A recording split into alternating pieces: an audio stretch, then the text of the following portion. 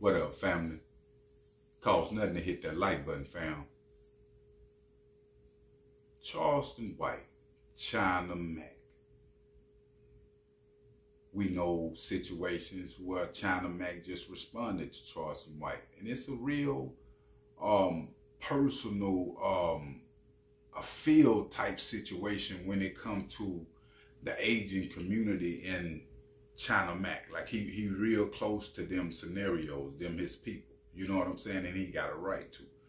And I want y'all to know that it's a lot going on, you know, in America when it comes to um, different type of crimes happening against the aging community, older people and all, fam. You feel me? And when it comes to me personally, when it comes to older people's babies, regardless of what race or whatever, fam, you know, I'm living off uh, love for real. So I don't condone nothing, you know, that's going on between these two um, individuals. We know China Mac responded and was saying that him and his people was going to pull up to Charleston White's show.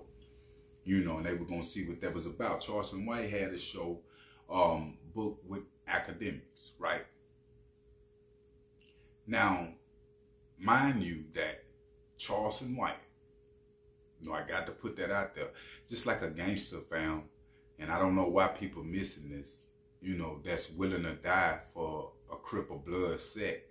You know, you got to respect how he went out. It's just like an individual going to the army or whatever you believe in in life. If somebody really believe in, whether you think it's not uh, cool or not, whether they talking or uh, the way Charleston White talking or the way he moving, whatever the case might be, you know, people gonna do what they do. So at the end of the day, fam, when it comes to this uh, situation, Charleston White spoke out again. And this time, fam, Charleston White was even saying that um, some of the Asian community uh, need to get robbed, raped, all type of different things. Need stuff taken from him. You feel me? He really destroyed, you know, the community um, with words. You feel me? Some of the worst things that could be said about the Asian community. Like I said, it's a lot going on surrounded around it. The point I want to get to on this, fam, because I got a respect for China Mac. Like I say, China Mac showed love uh, to Big Chap TV when I was first doing my thing, coming up, you know, in the game on YouTube, right? So I respect China Mac. He a real one, been to prison.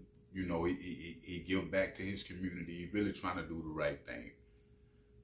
But the thing I think people is missing, fam, when it come to um, Charleston, or when it come to responding to what he got going on, and a lot of people have selective politics found, even a Charleston White, not only China Mac, on how they deal with certain people in certain situations. If it hit home with them, then they want to deal with it. But if not, you know, so and if you it's a lukewarm, you know, you really have not changed. A lot of these dudes uh, lukewarm, and it's cool because it's a transition in doing it. You know, I still have a lot of ways myself, but when it come to the way these dudes like China Mac stood up for Troy Ave, who was saying Troy Ave a snitch on a podcast. They wouldn't interview certain individuals. You feel me? So that means you got one feet in the streets and one feet out. But you're talking positive and trying to put positive in the community, but you studied destroying it, fam. You feel me? Like I say,